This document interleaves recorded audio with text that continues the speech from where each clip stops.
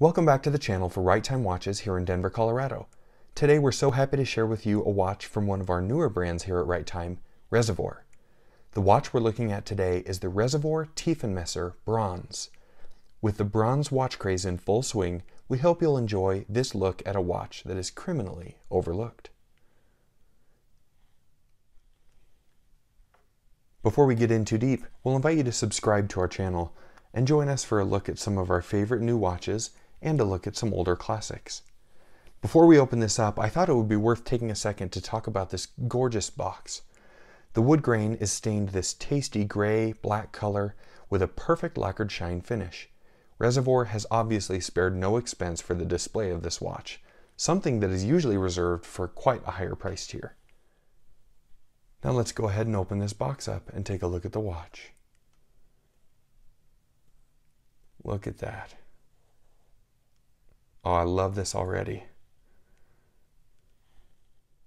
The watch is built in a hardy 43mm bronze case.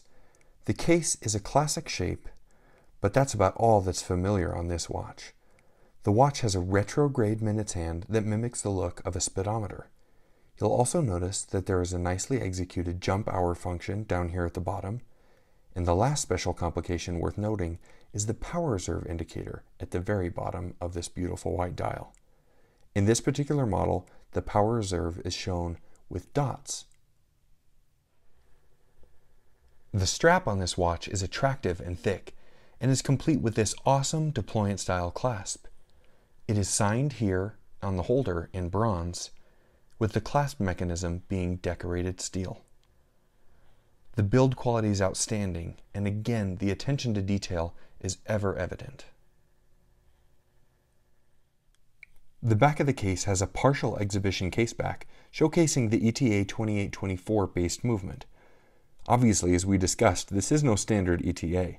In tandem with the movement, there is a reservoir module that gives us those three amazing complications that we discussed earlier. I'll demonstrate for you now how that retrograde minute hand works. Obviously we've got a screw down crown here at 3 o'clock, or what would normally be 3 o'clock. And if we pop this open to set the time, we can see that this moves just like normal. But what happens is when you move this past 60, that minute hand jumps all the way across the bottom of the dial back over to double zero and you see the hour change here in the jump hour function. Let's do it again.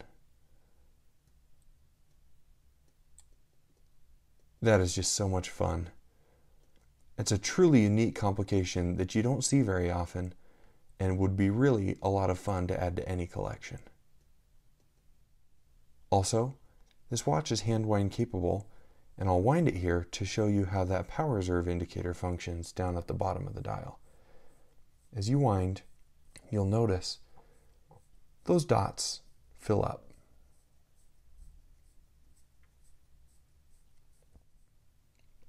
Here's a look at the watch on my 8-inch wrist.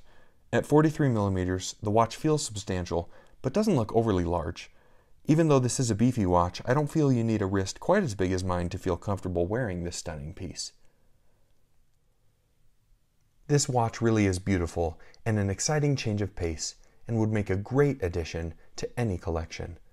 If you'd like to purchase this or any of our other watches, please visit us at righttime.com or give us a call. As always, thank you so much for stopping by, and we'll see you next time at Right Time.